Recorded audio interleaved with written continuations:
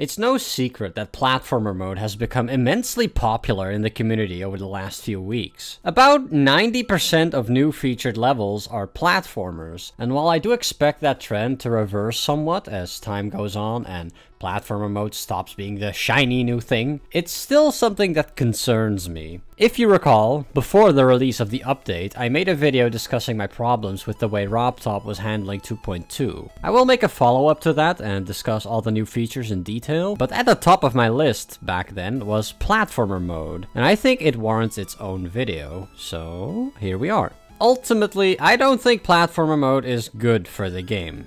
I was skeptical when the update first dropped, but I thought maybe I just needed to give it a shot. The more I played it though, the more I realized that it didn't really matter, because I'm not passionate about platformer mode like the rest of the community apparently is. The reason for this, as I've stated before, is because platformer mode is conceptually misguided. You have to realize that Geometry Dash is actually a very unique game. Like, yeah, you've got the Impossible game, but let's be honest here. The Impossible game walked so Geometry Dash could run, or Dash, even. Either way, Geometry Dash is the only platformer I know of that integrates music so fundamentally into its gameplay, and even the visuals. No other platformer does this. The closest thing I can think of is that Piranha Plant level from Mario Wonder, or that factory level in Donkey Kong Country Returns. But even that is only a shadow of the level of music integration Geometry Dash accomplishes, because it's impossible for levels like that to tie every jump, every movement of the player to the flow of the song, because the devs can't possibly know where the player will be at any given time. However, in Geometry Dash you will know exactly where the player is. If you're 36 seconds into an attempt of Windy Landscape, Woogie knows that this part of the song is going to play, and so he can put jump pads here to sync with the notes exactly. This might seem trivial to you, like obviously people are going to sync their levels to the song they chose, Duh. But I don't think this is something we should take for granted, because it's a defining feature of this game that sets it apart from other platformers. It's the lifeblood of Geometry Dash, and every single update so far has only worked in service of that new game modes, Newgrounds integration, all of the new decorative objects and editor options, and even additions that are a little more controversial like the move trigger, all facilitate this ability to make levels sync with the music. Only now, in 2.2, has the game done a complete 180 and added something that subverts the core identity of the game, platformer mode. Because with platformer mode, the free movement of the player means it becomes impossible to sync the gameplay of the level to the song. Is this actually a problem though? Can't you just not play platformer levels? Well, I already mentioned that platformer levels right now account for 90% of newly rated features. They're being pushed pretty hard, but leaving that aside, this update, the new features in the game are going to affect the community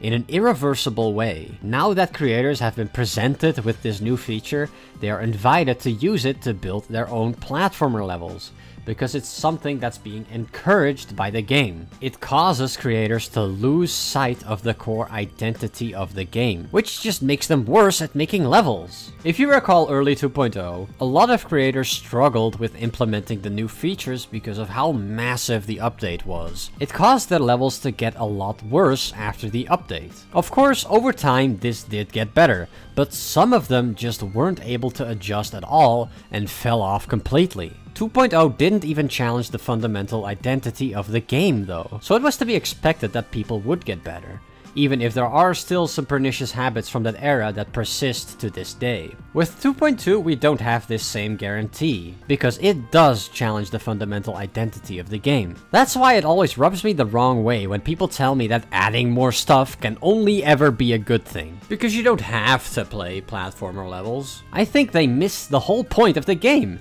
and they forget that sometimes adding something can make that thing worse. It would be like serving me a pancake and seasoning it with salt and pepper. And when I complain about the salt and pepper, you tell me to just not eat the salt and pepper. I think people didn't value the specialization of the GD editor enough. It was an awesome tool that specialized in one specific thing, and that is making rhythm-based levels that are able to harness a piece of music and create a gameplay experience alongside it that matched it one-to-one -one in a cohesive audio-visual experience. Adjusting a specialized tool like that for more general purposes makes no sense at all. It just obscures what the tool really excels at and makes it even less intuitive to use. It turns the editor into a jack of all trades, but a master of none. Turning the Geometry Dash editor into a more generalized platformer slash game engine also makes the minigame concepts people come up with a lot less impressive on paper. The argument that minigames are valuable because they twist the GD editor in a way that was never intended doesn't really carry much weight when the editor itself starts to resemble a game engine more and more. So people are using a game engine to make video games. That's not really impressive, that's to be expected. Of course, the fact that video games exist at all is impressive in its own right. I'm not here to shit talk game development, but we don't celebrate bad games because making a game is an impressive accomplishment, do we?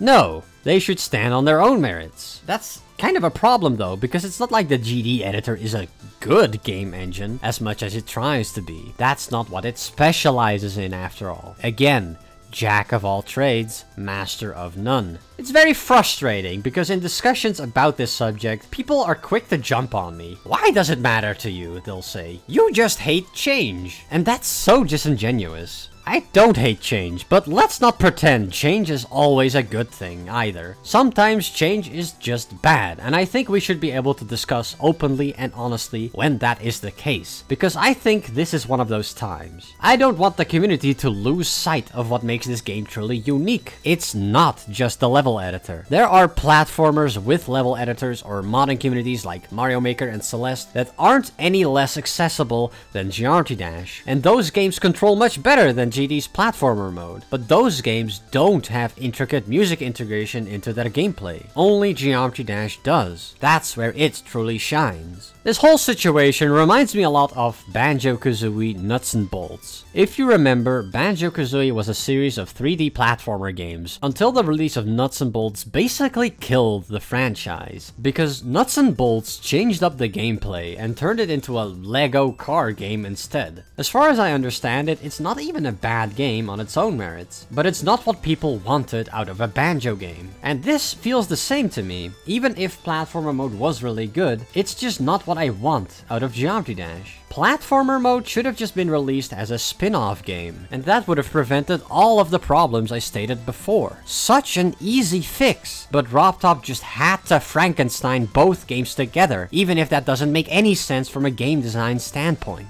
You know, I'm not happy about this either. People often accuse me of just wanting to hate, but is it really that hard to imagine that my opinions are genuine? I don't want Geometry Dash to fail. But if it goes into a direction I think is bad for the game, I'm not just going to keep quiet about that. Of course I'm going to complain about that. well, I hope that clarifies my position a little bit. Now, to be totally clear, this isn't me announcing that I'm quitting or anything. I'm sure there will always be a subsection of the community that recognizes Geometry Dash's true strengths, even if its developer has lost the plot, in my opinion. But yeah, special thanks to my grandpa demons Xkami, Belfry Clock, and Alfiria for supporting this inflammatory rant via my Patreon. Thank you very much. And thanks for watching, guys. See you later.